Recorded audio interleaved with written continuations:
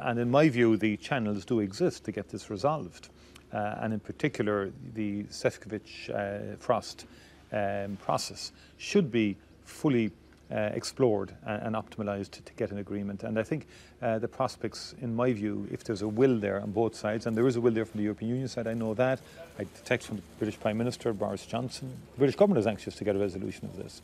Uh, so I think we should we should work at it. That's more hopeful than we've heard for quite a while. There's still a lot of point scoring going on over Brexit. So is there not a danger of the politics thwarting attempts to find solutions? I think we need to move beyond where we are.